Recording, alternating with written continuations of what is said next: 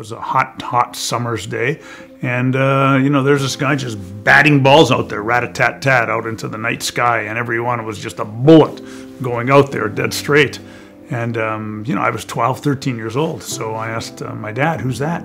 And he said, That's Moe Norman. And I said, Really? He really just hits the ball so differently. Even then, I knew a little bit about golf and traditional swings, and his was so beyond the traditional that even if you didn't know much about golf, you knew that this was very strange and unusual, and yet it was so effective. So my dad told me a bit about him, and he said that, you know, the thing is with Moe, a lot of people laugh at him because he does it so differently. I mean, you look at him here, it's a hot night. He's wearing a turtleneck. He's wearing slacks that don't come down to the to his shoes properly. And when you hear him talk, you'll hear him repeat himself. So a lot of people just laugh when they see Moe. My dad said he's known as one of the best ball strikers in the game. My dad liked golf. And just look at the way he hits the ball. You know, I don't know why people can't look past that. But right from that moment, I became fascinated with him. And I became fascinated with the, you might say, you know, the unusual and, and the extreme in, in human behavior and certainly in golf. And I think to that uh, experience with Moe, I can sort of um, trace my own fascination with the golf swing and how to hit the golf ball. And uh, it really started right there.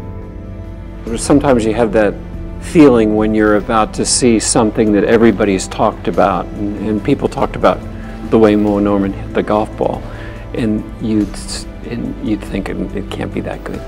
He can't be that good.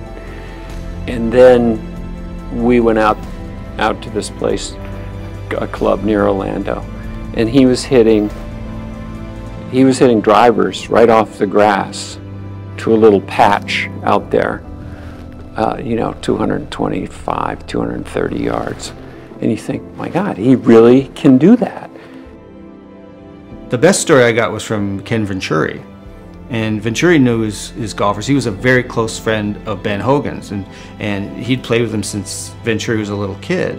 And I said, who do you think was the best ball striker? Was, was Moe in league with uh, Hogan? He said, well, in fact, you, you could argue that Moe was a better ball striker than Hogan. He said that Hogan was a static shot maker. You just hit that little fade all the time, but Moe could do whatever he wanted with the golf ball.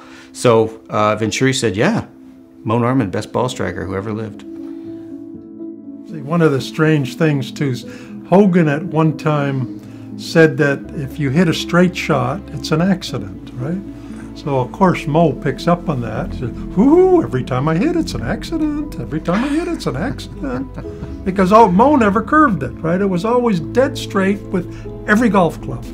He turns to me and he folds his arms like he's holding himself together, waiting for my response to Hogan's move. I said, Moe, that looks more like Louise Suggs to me than Ben Hogan. well, that is not what he expected to hear, right? I, that is the fastest 100 yards I ever ran in my life because he, would, he would have killed me at that time. But a, a day later, when I wasn't paying attention, he sneaks up behind you, grabs me, hugs me, kisses me on the cheek, and pinching. I'll give you Louise Suggs, eh? Louise Suggs. And he was laughing and giggling and loving every minute of it, you know?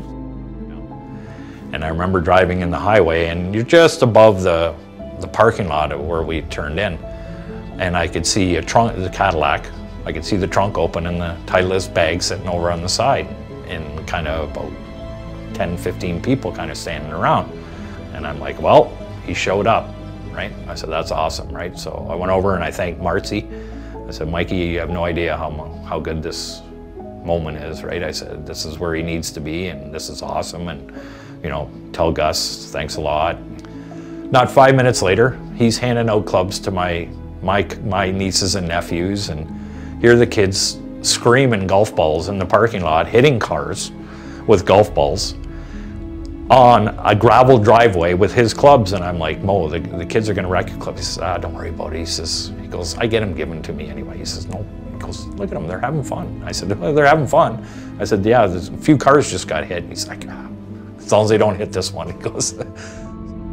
Gus and Audrey just, uh, it was wonderful that they were there to take care of Moe, and and, and, and I know he really Moe appreciated. was very it. lucky that they were Very- there. And uh, Ernie Hauser was another person involved, but uh, see that that comes from the days they all grew up together, and Gus and Ernie, and, and Moe was fortunate to have that. And as Moe's life got a little more difficult and his health was uh, going down, you know, he, he needed that help, and, and uh, there couldn't be a better group of people that, that helped Moe that way.